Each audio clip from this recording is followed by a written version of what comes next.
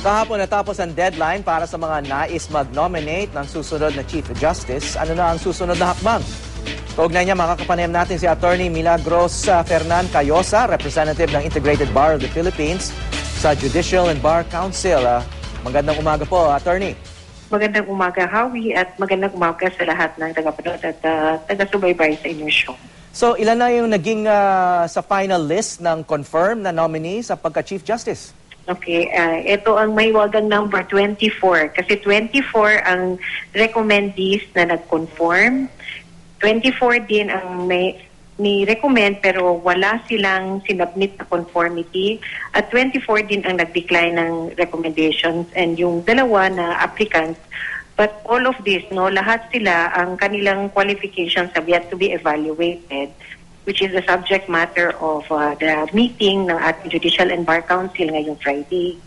So, uh, So, bale, ilan po yung kailangan yung screen na nominees or recommendees? okay, sa ngayon ang nag-signify na sila ay sang-ayon para i- i-consider as a nominee no, for the position of Chief Justice ay 24. 24. So, Okay, 24. kasi as of last night yata, may narinig akong 25. So, meron bang nag-drop out o mali lang yung uh, narinig kong 25? Well, yung isa uh, belatedly submitted a, a withdrawal of uh, first nag-accept siya tapos um, binawi niya yung acceptance. Uh, later also in the afternoon, um, the, we learned that uh, si Justice Sereno also gave her conformity.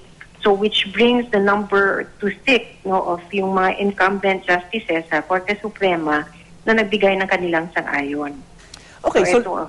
so attorney, lahat ba ito i-interviewin ninyo o meron pang ah, parang ah, documentary evaluation? Isi-screen nyo muna ah, bago paabutin sa interview? We have to do both, Howie, no? So, uh, in fact, the next step is really to publish the names of those who will be considered. So, ito yung sinasabi natin yung 24. Baka mabawasan pa yan on uh, Friday if yung recommended does not meet the minimum qualifications. Kasi sa ngayon, we, we just went through the process of uh, waiting for them to conform no, if they were recommended.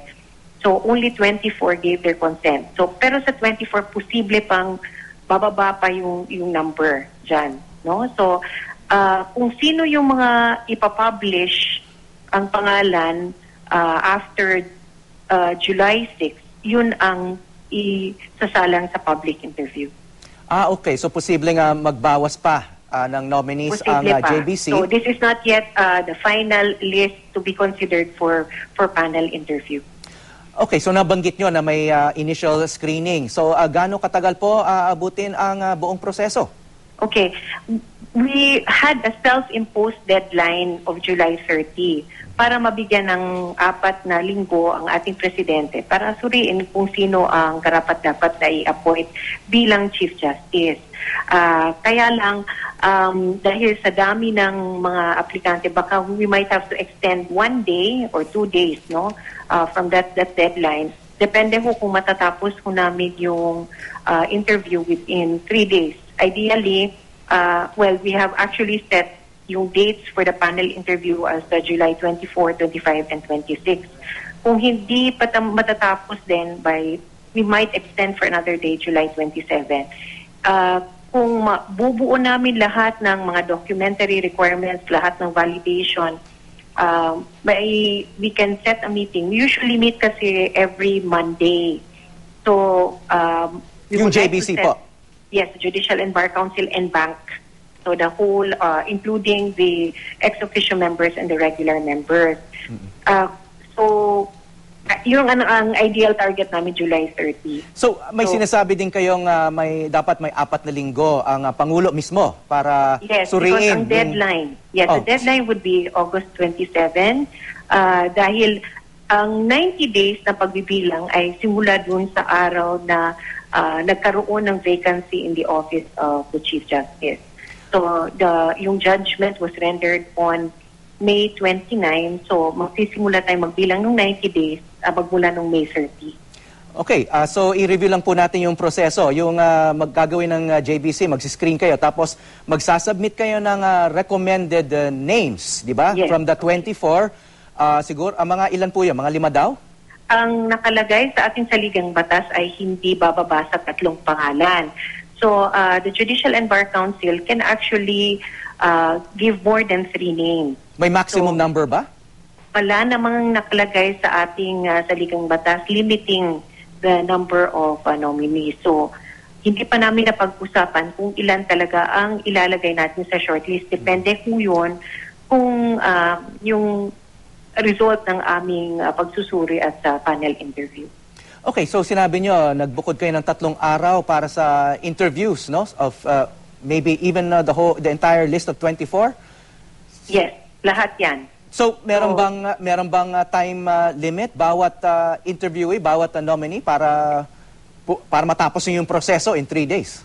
Well, uh, actually, the time limit will be on the panelists, yung sa panel interview kasi, you know, uh, when you get started with uh, the questioning, minsan hindi mo pwedeng putulin, no? Kasi tuloy-tuloy ang, ang thought.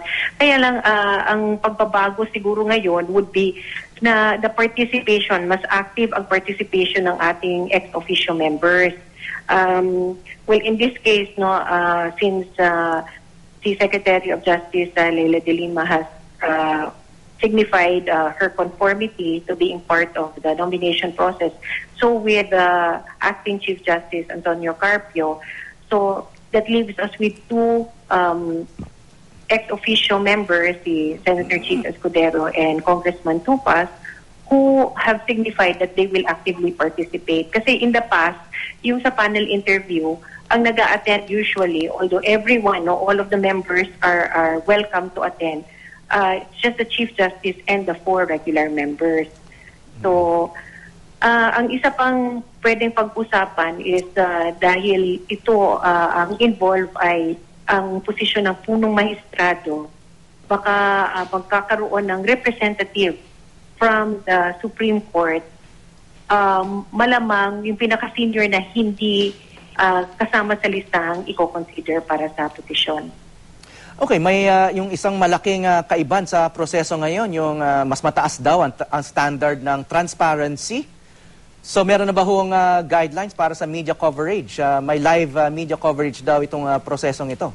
May initial na ho kaming uh, guidelines, particularly with respect to the accreditation.